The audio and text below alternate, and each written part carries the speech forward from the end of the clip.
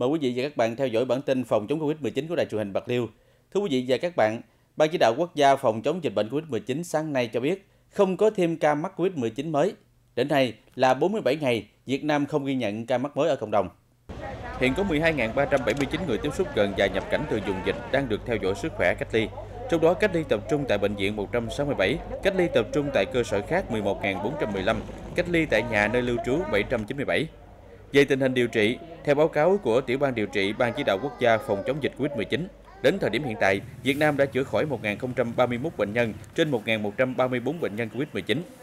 Tiểu ban điều trị cũng cho biết đến thời điểm này, nước ta không còn trường hợp bệnh nhân COVID-19 nào nặng.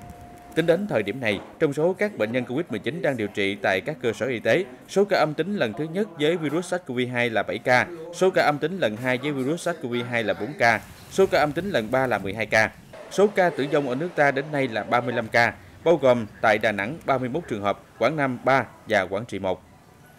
47 ngày liên tiếp vừa qua, Việt Nam không ghi nhận trường hợp mắc COVID-19 mới tại cộng đồng, nhưng các chuyên gia lĩnh vực dự phòng trong nước và nước ngoài nhận định nguy cơ dịch COVID-19 xâm nhập, lây lan và bùng phát ở nước ta vẫn rất lớn. Để chủ động phòng chống dịch COVID-19, chính quyền, ngành y tế các địa phương cần tiếp tục triển khai các giải pháp phòng chống dịch theo chỉ đạo của chính phủ và Bộ Y tế trong tình hình mới. Giai đoạn hiện nay có thể nói nguyên tắc quan trọng nhất là phát hiện ngăn không cho dịch từ bên ngoài xâm nhập vào Việt Nam bằng việc thực hiện nghiêm công tác kiểm dịch tại cửa khẩu, khai báo y tế, khuyến cáo sử dụng các phần mềm truy vết, khai báo sức khỏe, phân luồng người nhập cảnh ngay tại cửa khẩu, vận chuyển an toàn về nơi cách ly. Tiếp tục tổ chức quản lý chặt chẽ hình thức cách ly theo hướng dẫn của ngành y tế, không để xảy ra lây nhiễm trong cơ sở cách ly tập trung và từ khu cách ly ra ngoài cộng đồng, nhất là hình thức cách ly ngoài quân đội, cách ly tại nơi lưu trú. Ngành y tế các địa phương chủ động xây dựng kế hoạch xét nghiệm phát hiện nhiễm SARS-CoV-2 trong giai đoạn phòng chống dịch COVID-19 mới, theo kế hoạch của Bộ Y tế đã ban hành bảo đảm chính xác tiết kiệm. Có phương án xét nghiệm, giảm thời gian cách ly tập trung đối với chuyên gia, nhà đầu tư, đối tác thương mại, lao động kỹ thuật cao nhập cảnh vào Việt Nam từ một số quốc gia, khu vực an toàn. Tiếp tục đào tạo nâng cao năng lực xét nghiệm của các cơ sở xét nghiệm hiện có để sẵn sàng tiếp nhận mẫu, hỗ trợ lẫn nhau khi cần thiết. Đối với công tác giám sát xử lý ổ dịch tại cộng đồng, Bộ Y tế yêu cầu Sở Y tế các tỉnh, thành phố tập trung chỉ đạo các đơn vị y tế trên địa bàn phối hợp chặt chẽ với cơ quan có liên quan, ra soát cập nhật các hướng dẫn chuyên môn kỹ thuật phù hợp với tình hình dịch và những biểu hiện mới về dịch. Tăng cường giám sát chặt chẽ dịch bệnh tại cửa khẩu, cộng đồng, bệnh viện, nhất là đối với các trường hợp có biểu hiện triệu chứng, người viêm đường hô hấp, viêm phổi, thực hiện tốt các nguyên tắc phòng chống dịch và nâng cao hơn nữa năng lực của các đội phản ứng nhanh, làm tốt công tác truy vết tại cộng đồng. Đẩy mạnh công tác tuyên truyền giáo dục sức khỏe cộng đồng về phòng chống dịch COVID-19, nhất là đẩy mạnh truyền thông thông điệp 5K của Bộ Y tế, thành lập các tổ phòng chống dịch dựa vào cộng đồng, tập huấn để chuẩn bị sẵn sàng lực lượng khi dịch xảy ra, quy động ngay lập tức các tổ này tham gia phòng chống dịch COVID-19 trên địa bàn kịp thời và hiệu quả. Ban chỉ đạo quốc gia phòng chống dịch COVID-19 vừa có công điện gửi Bộ Quốc phòng và Ủy ban nhân dân các tỉnh thành phố trực thuộc trung ương về việc tăng cường quản lý người nhập cảnh trong các khu cách ly tập trung. Ban chỉ đạo quốc gia phòng chống dịch COVID-19 đề nghị Bộ Quốc phòng và Ủy ban nhân dân các tỉnh thành phố thực hiện nghiêm chỉ đạo của Chính phủ, Thủ tướng Chính phủ, Ban chỉ đạo quốc gia và các hướng dẫn của Bộ Y tế về việc quản lý các trường hợp nhập cảnh vào Việt Nam, ra soát kiểm tra chặt chẽ giấy chứng nhận âm tính SARS-CoV-2 trước khi làm thủ tục nhập cảnh đối với các trường hợp nhập cảnh vào Việt Nam. Thực hiện nghiêm việc tổ chức lấy mẫu xét nghiệm theo đúng các hướng dẫn của Ban chỉ đạo quốc gia và Bộ Y tế giám sát chặt chẽ việc thực hiện các biện pháp cách ly đối với các trường hợp nhập cảnh không để lây nhiễm trong thời gian thực hiện cách ly và tại các cơ sở cách ly. Đặc biệt lưu ý không cho phép người không có nhiệm vụ vào khu vực cách ly và tiếp xúc với người đang thực hiện cách ly. Người đang cách ly không được ra khỏi khu cách ly và có hình thức xử lý nghiêm đối với các tổ chức cá nhân vi phạm.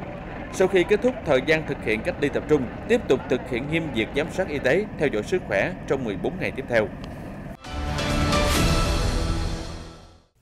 Đại dịch Covid-19 tiếp tục diễn biến phức tạp trong ngày hôm qua khi tổng số ca mắc trên toàn thế giới đã vượt mốc 40 triệu, trong đó hơn 1,1 triệu trường hợp tử vong. Đáng chú ý, làn sóng dịch thứ hai vẫn lan rộng ở châu Âu, với tổng số ca tử vong đã chạm mốc 250.000. Hiện năm quốc gia châu Âu chịu ảnh hưởng nặng nề nhất do dịch là Anh, Italy, Tây Ban Nha, Pháp và Nga, chiếm tới hơn 2 phần 3 số ca tử vong. Đây cũng là những nước dẫn đầu khu vực về số ca mắc mới với hơn 10.000 ca mỗi ngày. Thậm chí con số này ở Pháp còn lên tới gần 30.000.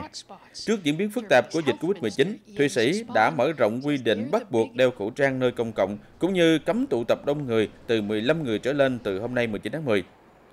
Ireland cùng ngày thông báo siết chặt biện pháp hạn chế dù chưa có kế hoạch áp đặt lệnh phong tỏa toàn quốc từng được áp dụng hồi đầu năm. Hôm qua, Chủ tịch Hạ viện Mỹ Nancy Pelosi đã bày tỏ lạc quan về khả năng đạt được thỏa thuận hỗ trợ kinh tế mới với chính quyền Tổng thống Donald Trump vào trước ngày bầu cử ngày 3 tháng 11 để giảm thiểu tác động của đại dịch COVID-19. Trong những ngày qua, cả hai bên đều đã có động thái nhượng bộ lẫn nhau, hồng tìm kiếm tiếng nói chung, song vẫn còn tồn tại một số bất đồng. Theo bà Pelosi, hai bên cần đạt được thỏa thuận trong 48 giờ tới nếu muốn văn kiện này được thông qua trước ngày bầu cử. Hiện tại hai bên đã thảo luận mọi chi tiết của thỏa thuận và chỉ còn chờ đưa ra quyết định cuối cùng. Tổng thống Donald Trump cũng bày tỏ mong muốn hai bên sẽ thống nhất được với nhau, nhưng sẽ ở mức lớn hơn con số mà bà Pelosi đề xuất. Tôi muốn có một con số lớn hơn, song điều này không đồng nghĩa với việc tất cả các đảng viên Cộng hòa đồng ý với tôi. Nếu bà Pelosi muốn đạt được thỏa thuận, tôi nghĩ họ sẽ nhất trí. Mặc dù cả Tổng thống Trump và bà Pelosi đều đã phát đi những tín hiệu tích cực, song theo Bộ trưởng Tài chính Steven Mnuchin, hai bên vẫn còn có thêm nhiều thời gian để đi tới thỏa thuận cuối cùng. Hiện Nhà Trắng đồng ý nâng gói cứu trợ từ 1,6 ngàn tỷ đô la Mỹ lên 1,8 ngàn tỷ đô la Mỹ, nhưng vẫn thấp hơn mức đề xuất 2,2 ngàn tỷ của đảng Dân Chủ. Thủ tướng Italy hôm qua đã ban hành sắc lệnh mới nhằm siết chặt hơn nữa các quy định về phòng chống dịch bệnh COVID-19 trong bối cảnh số ca mắc mới những ngày gần đây liên tục vượt mức kỷ lục với hơn 10.000 ca mỗi ngày. Sắc lệnh mới quy định các thị trưởng có quyền ban hành lệnh đóng cửa quảng trường và đường phố ở các khu vực trung tâm thủ đô sau 21 giờ nhằm tránh hoạt động tụ tập đông người. Nhiều quy định nghiêm ngặt hơn cũng được ban hành như đình chỉ hội nghị, điều chỉnh quy trình hoạt động các phòng tập, bể bơi, hạn chế thời gian hoạt động của quán bar, hạn chế hoạt động phương tiện giao thông công cộng, tăng tính linh hoạt trong hoạt động giảng dạy của trường trung học. Đồng thời, các trường trung học phổ thông không được phép mở cửa trước 9 giờ sáng. Hôm 12 tháng 10, Italy cũng đã ban hành sắc lệnh về phòng chống dịch COVID-19 trong bối cảnh số lượng các ca nhiễm mới ở nước này có chiều hướng tăng mạnh, với các quy định như bắt buộc đeo khẩu trang, cấm tổ chức tiệc riêng tại gia, đình chỉ hoạt động trao đổi giáo dục, hạn chế số lượng người tại các rạp chiếu phim, nhà hát, sân vận động.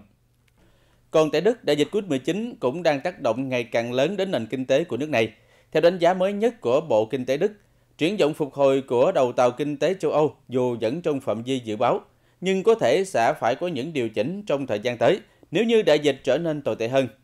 Cũng theo bộ trên, kinh tế Đức sẽ đối mặt với những hệ quả khôn lường nếu không thể đẩy lùi được dịch bệnh. Bộ Kinh tế Đức dự báo tổng sản phẩm quốc nội GDP sẽ giảm 5,8% trong năm nay, trước khi tăng trở lại 4,4% vào năm tới. Tuy nhiên, điều này chỉ xảy ra nếu chính phủ kiểm soát được đại dịch, hạn chế gia tăng các ca nhiễm mới, cũng như giữ được kinh tế Đức như trong thời gian từ tháng 5 đến tháng 8 vừa qua. Cũng như một số quốc gia châu Âu khác, Đức hiện đang trải qua làn sóng lây nhiễm thứ hai với số ca mắc mới mỗi ngày cao kỷ lục, mà đỉnh điểm là con số gần 7.900 người hôm 17 tháng 10 vừa qua. Nếu không giảm được số ca lây nhiễm, không chỉ kinh tế mà nhiều lĩnh vực khác của nước Đức cũng sẽ đối mặt với nhiều khó khăn và các vấn đề lớn. Hiện Đức đã có gần 367.000 người mắc Covid-19, trong đó gần 9.900 người đã thiệt mạng. Khi các lệnh phong tỏa trên khắp Brazil dần được giải bỏ, cũng là lúc sôi động của những bữa tiệc âm nhạc quay trở lại với thành phố Rio de Janeiro. Háo hức xen lẫn với bất ngờ là những trải nghiệm mới mẻ của những vũ công tham gia một lễ hội âm nhạc ngoài trời cuối tuần qua, khi các sàn nhảy cũng bắt kịp xu hướng thời dịch bệnh. Xu hướng đó là gì? Mời quý vị và các bạn cùng theo dõi. Rất hợp thời và cũng rất thời thượng Sàn nhảy giãn cách xã hội tại Rio de Janeiro được thiết kế thành từng ô riêng biệt với 150 ô được dựng ngoài trời. Dù mỗi sàn chỉ chứa được tối đa 6 người, nhưng các khán giả vẫn tỏ ra vô cùng hào hứng và không mấy bận tâm trước sự bình thường mới của buổi diễn. Đây là lần thứ hai tôi tới sự kiện tuyệt vời này. Tôi rất yêu thích cảm giác được ở bên bạn bè trong bầu không khí thoáng đẳng. Điều chúng tôi đang cố gắng tạo ra ở đây không chỉ là một bữa tiệc âm nhạc mà còn là khuyến khích mọi người quan tâm hơn tới sức khỏe tâm thần. Chúng ta không thể mãi ở trong nhà. Các sự kiện âm nhạc sôi động tại Brazil vốn thu hút rất đông khán giả. Do đó, sáng kiến này vừa giúp khán giả vừa thưởng thức âm nhạc mà vẫn tuân thủ các quy định an toàn. Tính tới sáng 19 tháng 10, Brazil ghi nhận hơn 5,2 triệu ca mắc, trong đó gần 154.000 ca tử vong.